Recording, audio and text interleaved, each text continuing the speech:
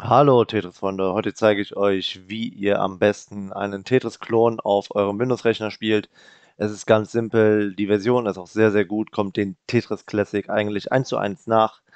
Ich zeige euch jetzt, wie es funktioniert. Ihr braucht nur zwei Dinge. Ihr braucht einmal das Spiel selber und wenn ihr mit einem Controller spielen wollt, dann braucht ihr natürlich auch noch die Software für die Controller. Im besten Falle ähm, ist dafür geeignet ein PS3-Controller, den benutze ich auch. Ich könnte aber auch einen PS4 oder einen PS5-Controller nehmen. Es ist ganz simpel. Ihr ladet euch hier auf der Seite, wie auch unten verlinkt, den Download für den Controller runter. Und auf der Seite hier klickt ihr einfach auf oben rechts auf Code und dann könnt ihr hier die ZIP herunterladen.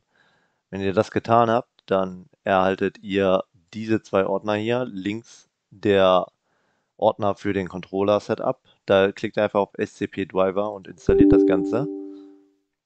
Wenn ihr das getan habt, dann könnt ihr schon das Spiel starten.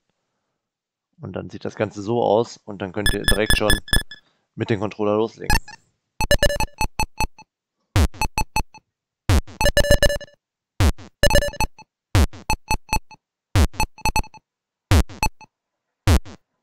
Das war's auf jeden Fall. Vielen Dank fürs Zuschauen. Bis zum nächsten Mal.